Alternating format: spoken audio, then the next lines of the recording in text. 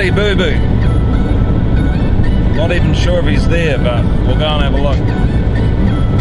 Hopefully we uh, might be able to scavenge up a feed of whitebait.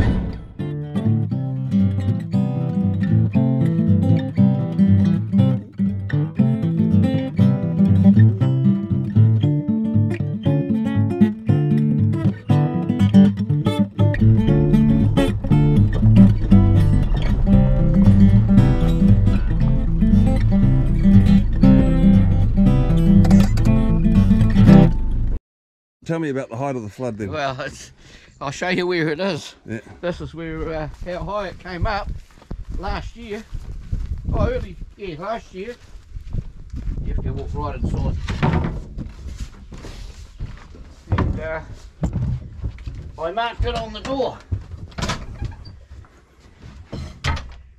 This year, early this year. Wow. That was the fucking water level through the huts. And a lot of the a lot of the stands down below, they got blown away, huts Really? got blown away, everything, all together. Some fishermen reported a caravan in the Foveaux Strait. Really? yeah. Yeah. And that's this, that's my power source. You know. I had one before but it fucked up. It was brand new. This is the stand. It's the number you got to have. Here's results of the first lift. Not very much. It's the first lift. Alright. You know, this is a bit light. It is very light.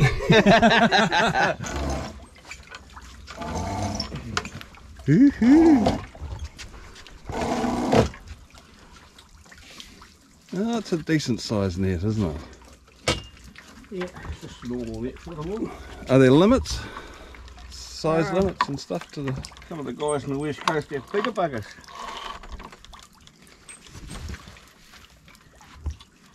It's not looking very promising.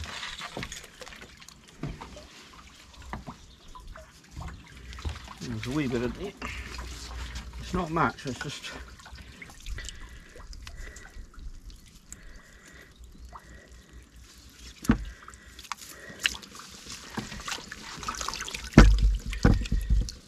a few more. Yeah. A couple of days you'll have a fritter. Are you trying to be facetious? Not trying. I think I pulled it off.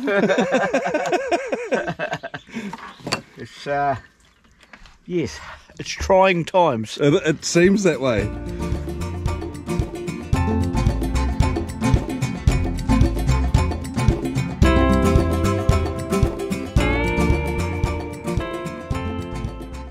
Nice and peaceful here. Stay here for the day. You know. No one to annoy you. no no wife to give you orders. No, it's true. Yeah.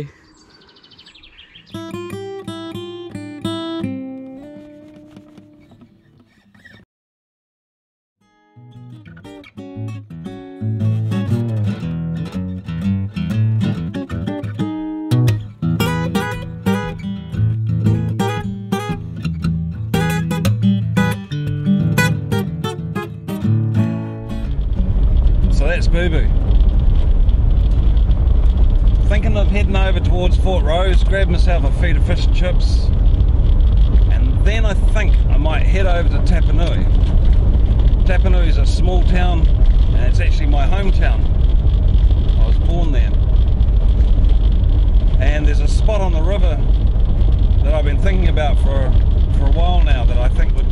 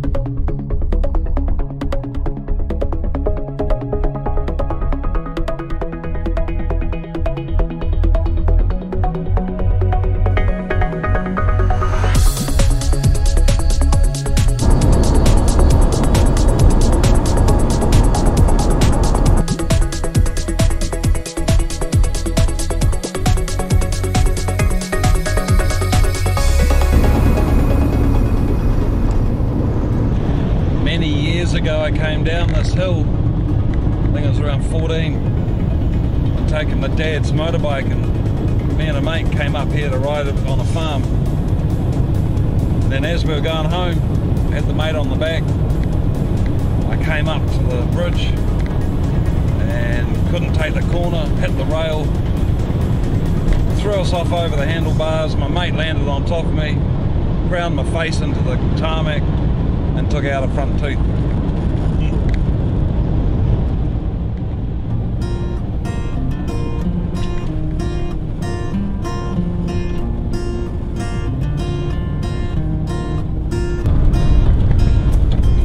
Clouds coming over the mountains like that. Pretty spectacular.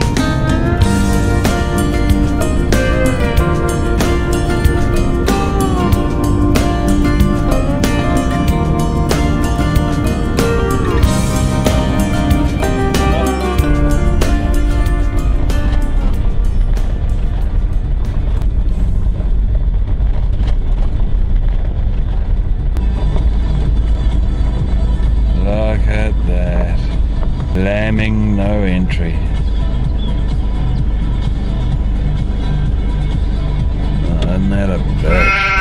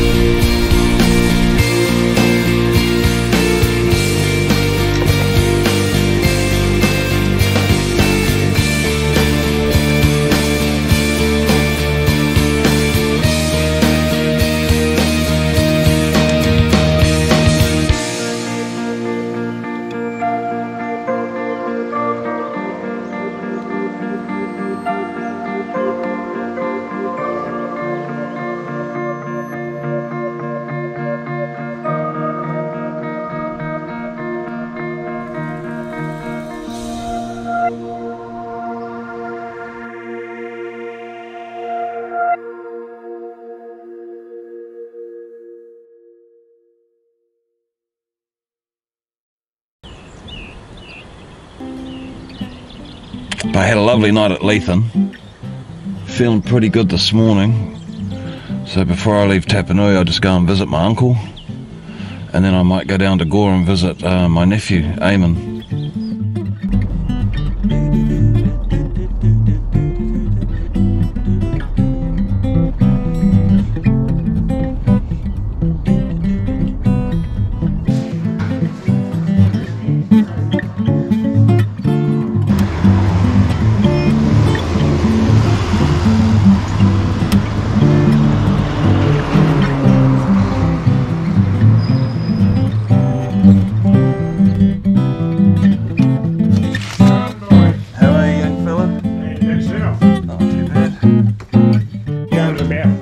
About twice a year. And I don't know whether it'd come come in your time when you're up here. I wouldn't know. Yeah, did I remember? But uh, it's it's the, it's one of the best things you ever, ever see. The roll the clouds come in from the south, and they just it rolls into the gullies. All, all the uh, they're going. Mm. It just rolls into the beautiful to watch each gully, you know. Yeah, yeah, yeah, yeah. And that's called the Blue Mountain Express. Did you saw it last night? Uh, yes, it was on last night. Yeah, so that's Uncle Dexter. What a good man. Yeah, so I'm gonna come back and do this Tapanui trip again at some stage. I still want to get that shot. But in the meantime, cut my losses, head down south. We're gonna go to Gore and uh, have a chat to Eamon.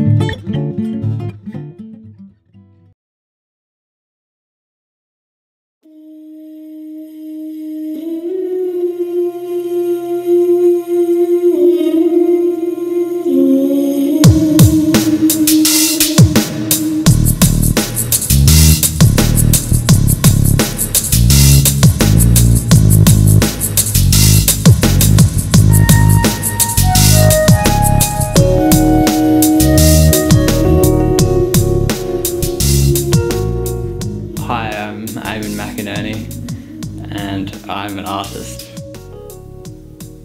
what got you started in your road to this where you are now? What got you? Psychedelics. Yeah? Yeah. Just tell me about that. Yeah, psychedelics. Um, I had a, I actually had a really bad trip one time, and it was like I was in my car and I was with a couple of mates, and they, like, uh, I was having a bad trip and they were having a good trip, and we'd taken LSD, um, and they ended up bailing and going for a walk, and I couldn't come with them because of my legs and stuff. So I was just sitting in the car and I was um, just listening to like some music and but I was I was having a really bad trip as well. Like at some at some point it was like I was in a, a bubble like flying through outer space. Like I couldn't even see the car, and um, after like like at times it would feel like I was just like free falling through space, but like in a really scary. I, I was scared at the time.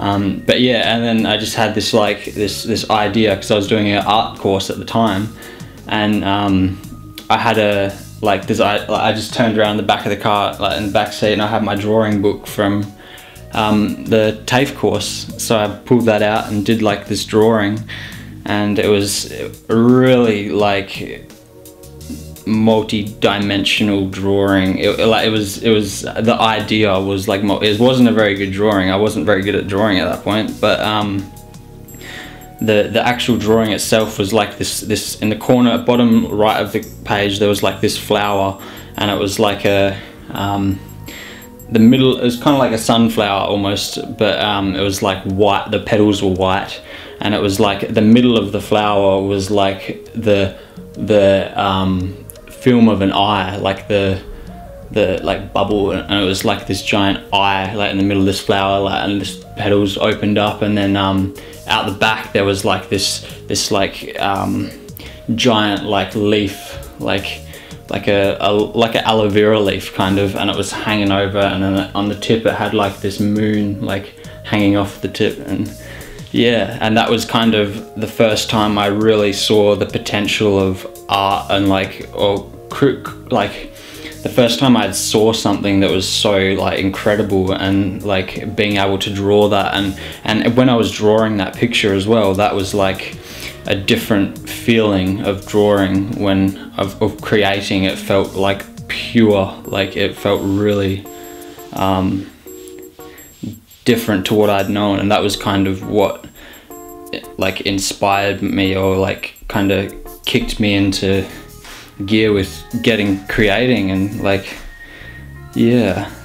Um, I definitely find it difficult to sell my art. Um, I'm quite I get quite attached to some paintings. Like some of, like some of my paintings are like uh, got more like of my I call I'd say more of my love in them like the some paintings I just like they just glow and other ones not so much but um, yeah I I definitely feel like it's difficult to let go of paintings but um, I think they're also better off being out in the world where other people can see them like I feel like I uh, art is very cathartic and I feel like I transmute the darkness in me to light and excise my demons and um, cleanse my soul.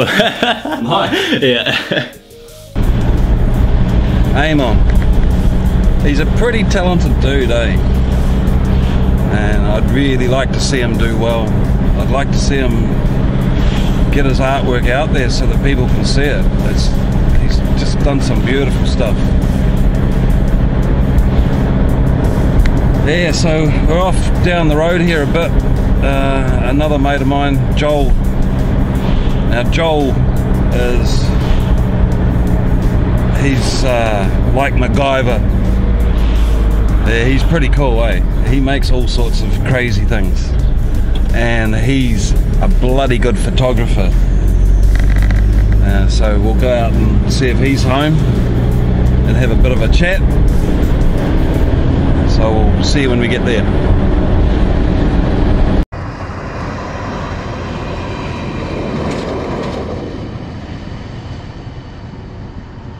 Hey, Buffy.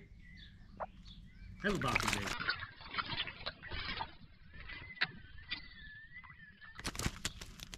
After meeting Maggie the magpie, we went inside to discuss one of Joel's other hobbies. He's become very good at distilling highly potent, potable alcohol, or moonshine. Have a bathy. So the barley I had was two row, two chain, and uh, it doesn't have as much fucking power in it when you malt it. So I done some extra wheat, and wheat has more wheat has more diastatic power than two row barley, but not as much as six row barley. That's fuck. There's a whole science in it, man. I'm I telling can you. see, I can see that. fucking whole crazy science in it. So that's only a one distill, a stripping run that's watered down and filtered.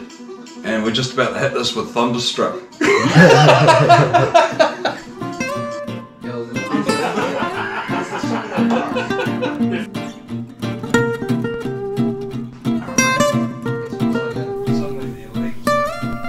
gonna have to come back and do Joel's story another time. Maybe this time I won't start out with the taste test.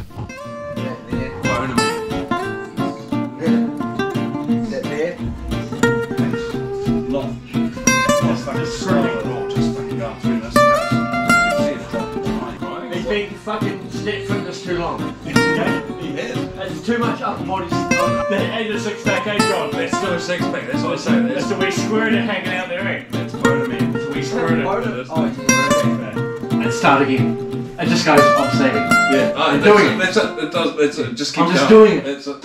Yeah, It's- and that's Rick Astley.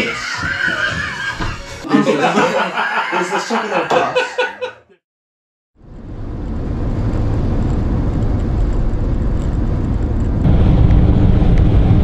Now, heading home.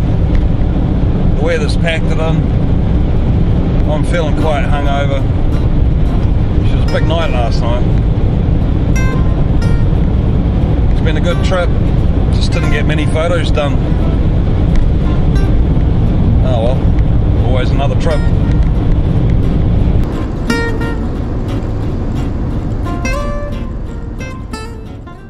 Wait, He does. Lambo, don't be so naughty.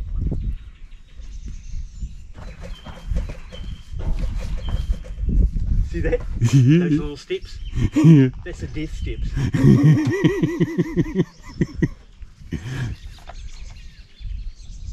Lambo. You're a naughty sheep.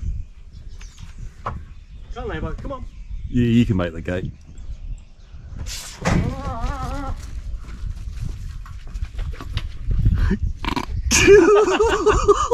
I had to make it two straight motorbikes on Wednesday to get it. Oh shit. oh, I can't see a thing. It's You're too dark. Lambo. It's too dark.